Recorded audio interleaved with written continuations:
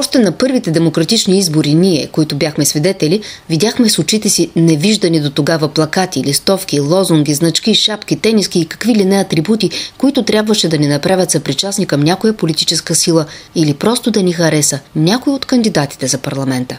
Да, и такива имаше, макар че в нашия случай красотата не ни спаси нито от тежки фалити, нито от хиперинфлация, нито от корупционни схеми. В регионалния исторически музей в Русе още от първата година на свободни избори събират всякакви агитационни материали. Погледът назад във времето е хем интересен, хем тъжен.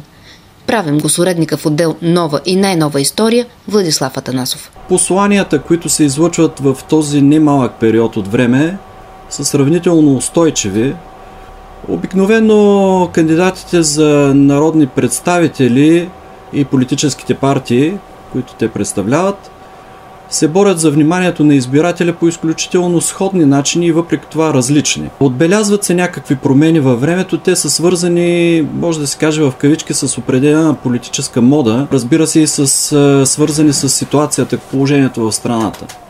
Ако трябва все пак по някакъв начин да ги типологизирам, в моето съзнание изникват преди всичко тези послания, които са свързани с спечелването на симпатиите на избирателите. И в това число, независимо от това дали са някакви печатни материали или предмети, разнообразието може би в този тип материали е най-голямо. Много от тях, например, аз съм запомнил, подреждайки по някакъв начин фонда, мога да разкажа по някакъв начин историята им.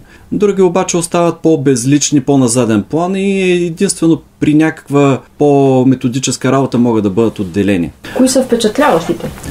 Ами от тези, които успях все пак да извадя от фонда, тук ще направя оговорката, че не всички предмети присъстват, тъй като във фонда има стотици неща свързани с избори. Мога да отделя примерно, може би най-въздействащо от всички, които поне така са правили впечатление, това беше една запалка. Разбира се, почти всички политически партии използват а, запалки, кибрити, най-различни предмети, свързани с бита на хората, които се прибират, използват, преизползват. Всекидневни неща. Това са кълъфи за кутии за цигари, имитации на банкноти, календарчета, карти за игра, отварачки, светоотразители балони, тениски, включително бомбони и така нататък.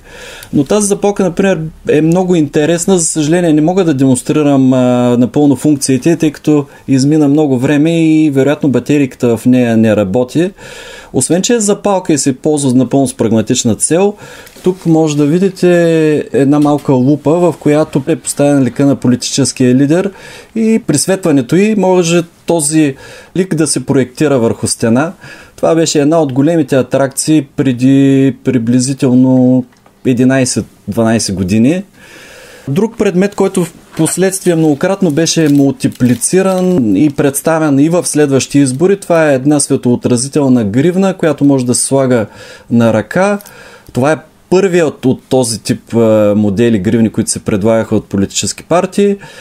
Тя беше свързана с парламентарни избори за Европарламента много често хората я слагаха вместо на ръката си на, примерно, велосипеди и така нататък. Интересно е, че избирателят, хората всъщност, намират практическо приложение на тези предмети и затова ги предпочитат. И най-интересното с годините те развиха и желание да колекционират тези предмети, тъй като всеки период представлява някакъв интерес, изминава време и тъй като по определени белези предметите могат да бъдат колекционирани, те стават части от колекции не само музейни, но и частни колекции. Вероятно този репортаж ще провокира интереса на хората и да правят и в бъдеще това, тези, които ни го правят. Освен, че искат да ни се харесат, партиите и преди, както и сега, разчитат на познати, любими лица. Самия аз с удивление разбрах, че примерно този плакат може да видим, че Христо Стоичков е участвал. Мисля, че това е единственото му участие в избори. И за наша радост се е запазил един плакат, който аз взех при ремонта на къща музей Баба Тонка. Беше в един от кабинетите. И за мен самия беше очудващо. Виждате колко е млад. Самия той едва ли би участвал сега или в бъдеще в подобни политически избори. Е нов избор. Каквото и да е това. Нов избор, да, самият аз. Питвам се да се сетя е, за самата политическа партия, не мога да го направя.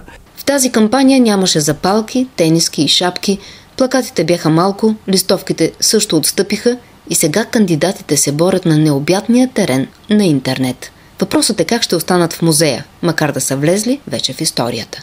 От Русе, Асе Пенчева.